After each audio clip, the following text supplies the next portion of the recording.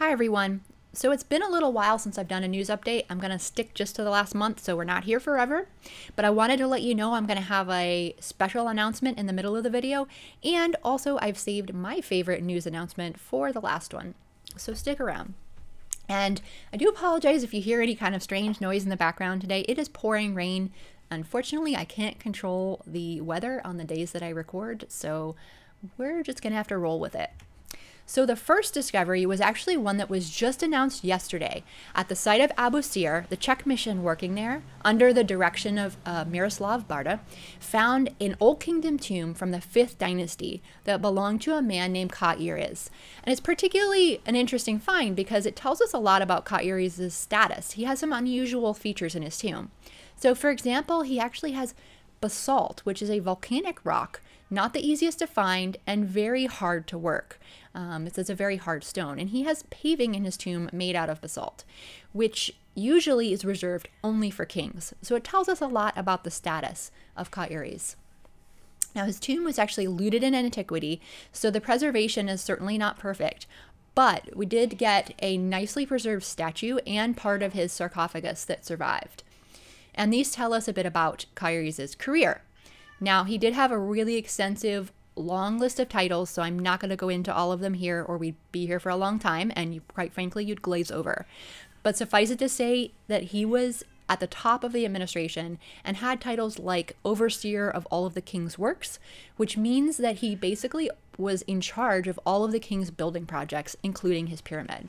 So definitely part of, you know, using a common term today, part of the 1% at the time.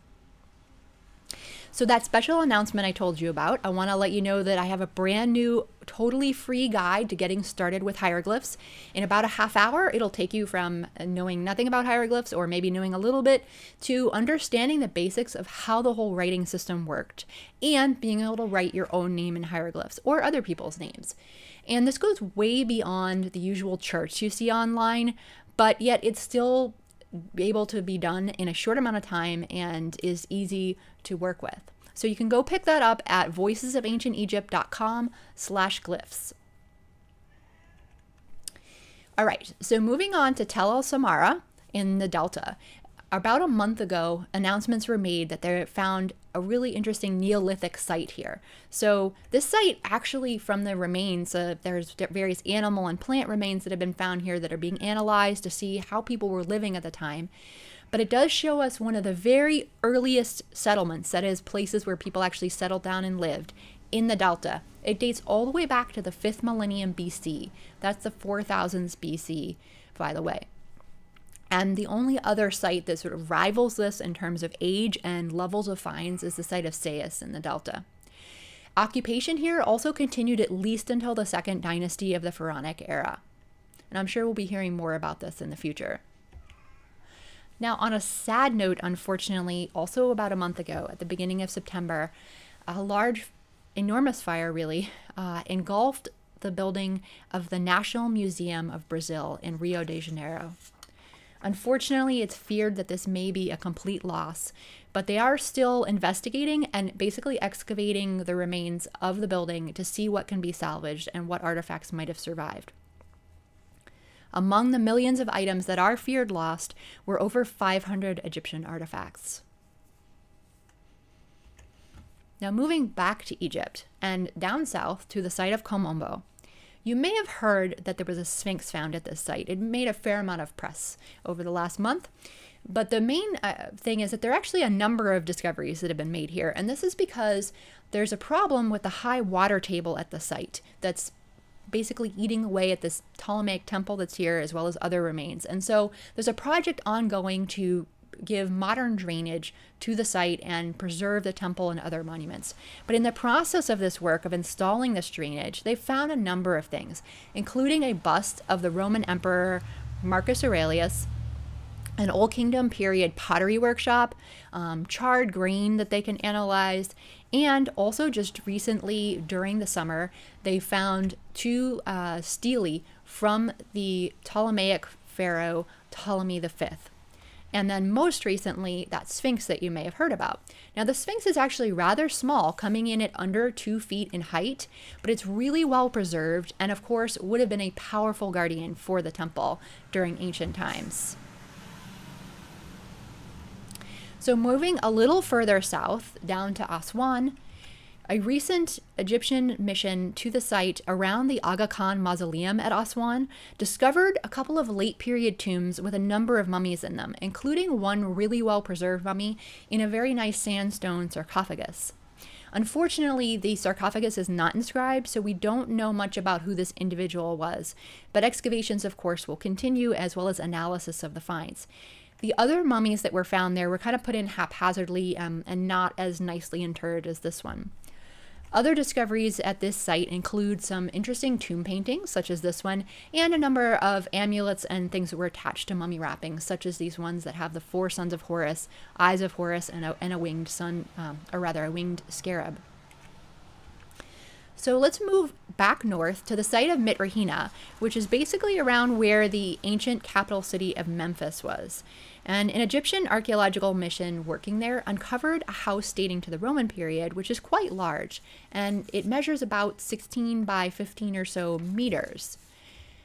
You can see sort of what remains of it here. But one of the more interesting things about it actually is that attached to the southwestern side of it was a Roman bath complex, including um, baths like this, but also uh, basins and offering tables that were believed to be used during religious rituals, uh, usually probably revolving around purification since it's a bath.